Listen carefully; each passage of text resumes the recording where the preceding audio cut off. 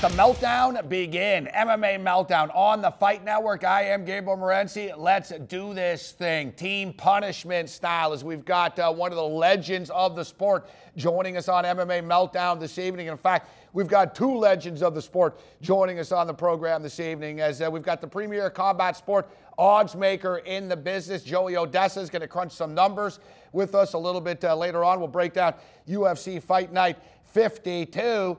But without further ado, uh, let's bring in a, uh, true pioneer, a legend uh, of the sport, a man who's going to be throwing it down November the 15th against uh, Stephan Bonnar. And no doubt you've probably heard or seen some of the smack talk that's been going on leading into this. Let's welcome in the Hall of Famer, Tito Ortiz. Tito, welcome to the program. Thanks a lot for taking the time to be with us.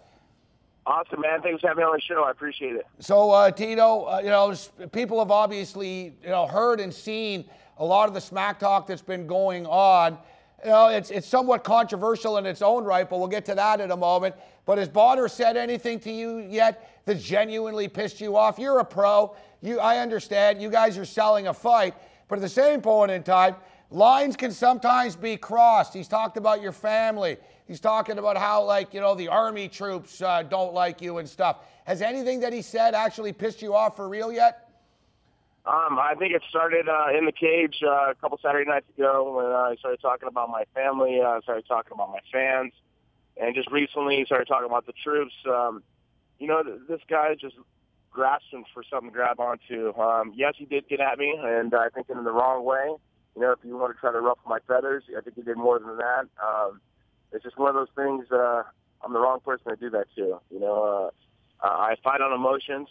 Through my whole career, I've done that, and I think through 17 years, I never hate anybody as much as I hate this guy, and this is true hate.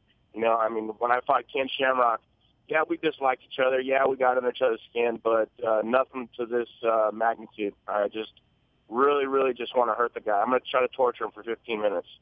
You know, there's a lot of people, as I stated, it was kind of controversial when you guys uh, were in the cage together. We talked about it last week, and a lot of people liked it and said, hey, it's entertainment. We're trying to bring people to the sport, and it's not like these two guys aren't going to beat the crap out of each other. Yet I also spoke to some fighters that said, ah, I don't really care for that type of stuff with guys in masks and everything. What do you say to the critics about, about the, the, the altercation and the promo, so to speak, that was cut there? Um, you know, I think the way they did it was uh, very unprofessional for our sport. You know, if you're a professional wrestler, yeah, that's cool. Uh, but you know, I, I guess you can try to fight as much as possible. Use grass on something. I mean, what has this guy really done in his career besides get his ass whooped? I mean, that's pretty much all it's been, and that's what he's known for. And it's going to happen again on uh, November 14th. I, I, I can care less about the guy. Um, I just can't wait to get in the cage to beat him down. You know, it just felt really very, very disrespectful you know, talking to things he said about my fans, my family, uh, then the troops, and but I think the, the hardcore fans are really uh, felt disrespected to bring the pro wrestling side of it. Like guy coming in as a gimp, I mean, it was it was a joke. I mean, this guy's grasping. He's a fake. He's a phony. And I'm going to show why on November 15th. What's the advantage to you to winning uh, this fight? Uh, is, is it the wrestling? I look at this and I would assume the wrestling is the difference, that you have a major advantage on the ground. Well, I, you know, I think the best advantage of everything is just crushing his face in. Um, uh, it really don't matter uh, how I win, when I win, or you know how the match ends. It's just I get the opportunity to punch him in his face. I dislike the guy, and this ain't a really sportsman fight to me. This is really um, time to beat up the bully, and that's what I'm going to do. You know, this guy has a loud mouth, and um, I don't know, man. I just really beside myself for just trying to cool myself down and not getting too um, emotional about things. But uh, November 15th, I'm to let it all go. I was talking to an odds maker, and I haven't seen any odds yet uh, for the fight. They're not posted yet, but he told me you will be favored. You're a big underdog against Flamenco, and you're a polarizing dude. You know that. You got a legion of fans, and there's a lot of haters out there as well. Are you motivated by the haters uh, at this stage when you see guys saying, oh, Tito can't beat this guy, Tito can't beat that guy, look, he's a big underdog, but then you win?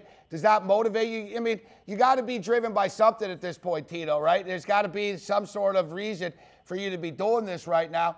Is silencing the critics and the odds makers and the haters part of uh, what motivates you at this point?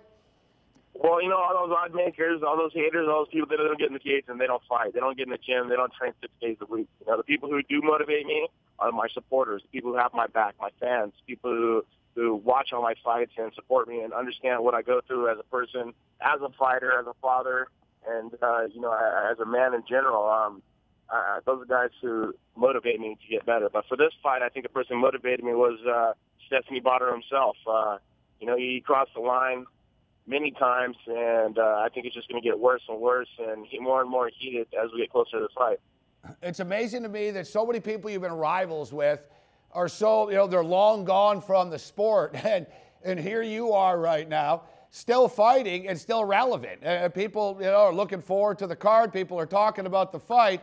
Yet it seems to me, and I'm not just saying this because you're on the program right now. I, have been thinking about this. I was thinking about this recently as well. It was actually after after the altercation um, in in the cage, in which you know there's a lot of oh you know Tito's trying to sell this and try to do that. I was thinking, you know, for a guy that's accomplished everything that he has, you know, I don't think you get the respect that you deserve. But I'm thinking that sort of probably goes hand in hand with Dana White, doesn't it? In that if they're going to sort of discount you and they're going to try to erase you from the past there's a lot of new school fans that, you know, Dana's gospel. So if Dana's going to say something, you know, one day they'll love John Fitch, but if Dana says John Fitch sucks the next day, then, oh, maybe John Fitch wasn't that good. Does that bother you that the new school legions maybe really don't know what you've accomplished in the past? And do you think that Dana White's attitude towards you is one of the reasons why? Well, you know, I think that's what it really comes down to is uh, when you go through negotiation, contract negotiations, the promoters are going to talk down on you to make you look like a piece. Um, and I've always been a threat uh, to Dana. You know, you always want to be me. You always want to be a fighter. You always want to be in the limelight. Well, he's there. Now he doesn't have to talk about me anymore, which is good. You know, uh, I finally get the uh, recognition that I've been deserved my whole career. You know, I've always been the guy at the top of the sentence, um, every, every word out of his mouth. And finally, for one, uh, he stopped talking to me, which I'm very happy about. You know, I've done the same thing too. You know, I'm, I'm thankful for him. I'm thankful for Lorenzo Fertitta for giving me the opportunity I had through UFC. But it was time for me to grow, and I went to Bellator, and you know, I signed a great deal, and you know, I'm, I'm competing for the fans. Uh, I want to compete. I'm healthy. My mind's straight. Everything at home is perfect. No more trauma. You know, uh, my beautiful girlfriend Amber Miller, she's just great support, and it's nice to have that when I'm taking care of my uh, twin boys. What's the attitude uh, in the Bellator locker rooms with Scott Coker running the show as opposed to Bjorn Rebney? Yeah, you're talking about, I mean, an ecstatic uh, excitement. Every one of the fighters are very, very happy. You know, uh, Scott Coker follows through in everything he does. It's just, uh, these are straight professionals. He's been doing this for such a long time. I mean, personally, I've known him for over 12, 13 years. Uh, I almost signed with Strikeforce, and then UFC didn't give me what I wanted, uh, and his negotiation tactics that worked well. And it's kind of funny that just everything comes around in a circle. And Scott, we sat down and we're just like, huh, finally we're working together. And I was really happy when uh, Bellator and uh, Spike TV Viacom signed Scott Coker. It's a blessing in disguise, and I think Scott Coker is really going to save the company of Bellator. I mean, you can already see with the events that they have. I mean, it's brighter, it's nicer, it looks clean, it's sharp. Um, the fights are, uh, you know, very, very exciting, and you know, I think uh, he's just going to make the next level and really kind of catch up to uh, the UFC of how much progress they've caught in MMA. Uh, Tito Ortiz uh, with us. And uh, finally, in closing, uh, Tito, uh, how much longer do you see yourself fighting? It seems like you have nine lives right now, and so many of your rivals, like I said, you fought over the years, aren't around anymore. You know, is it you know you take things fight by fight right now, and opponents? Is there an end game right now? How much longer do you have? Well, you know, um, I, I still have this will be one of uh, three, or actually two of four. So I have uh, two more fights after this fight. Um, I was supposed to get a title fight for this fight, but I ended up saying no because I wanted to fight Barr because he's titled Bellator. Um, after I came a face in Bonnar's, or came a hole in Bonnar's face, um, I'm looking for a world title shot. You know, Emmanuel Newton um, is holding the title. I'd like to get a uh, shot against him. He's a great champion, and a great fighter, and uh, if I beat him, you know, I'll be one of the best in the world. Uh, Tito Ortiz with us, and uh, you know, Tito, we had you on years ago on, on Sirius Satellite Radio. You probably don't remember, but uh, I, was, I was very impressed and I was floored because uh, you graciously gave away some, uh, some punishment gear to the listeners of the program. And once again, uh, Tito Ortiz is uh, giving away some uh, some gear to the viewers of the Fight Network. And you know, say what you will, but we have a lot of fighters on the program that don't uh, you know send gear and say, hey, we want to want to ship some uh, stuff off to the viewers of the network. So I'm sure a lot of uh, Tito Ortiz fans really appreciate that, Tito. Awesome, man. That's really really cool. You know, people can check it out. Maybe you can pick some, and hopefully that's one of the things that we send at punishment.com. Um, I, I just uh, you know, fan appreciation time to give back, and you know, thanks for your network to helping us uh, get back to the fans.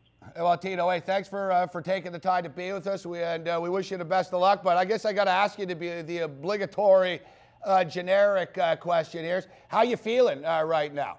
You know, fight's still really a little good, ways man. away. I'm on my way to the gym right now. I've been training six days a week. You know, putting in about you know three to four hours a day, and it's it's really just quality training to keep my body in shape and just just nipping at the bit, man. I just can't wait to get close, closer to this fight. I'll start picking up the train a little bit here in about a week or so, and uh, you know, start sparring and everything. But I'm excited to fight. My body's right, my mind's right. I just uh, want to get in the cage and really demolish uh, uh, Stephanie Bonnar. Thanks for joining us, Tito. Awesome, man. I appreciate all the fans. You guys are listening. Watch this fight November 15th for free on Spike TV. Don't miss it. There's uh, Tito Ortiz uh, with us, and as I stated. Uh, we kick it off with a legend of the sport. We go. Uh, we'll be joined by another legend of the sport when we return. Joey Oddessa will join us. We'll crunch some numbers. MMA meltdown on the Fight Network continues.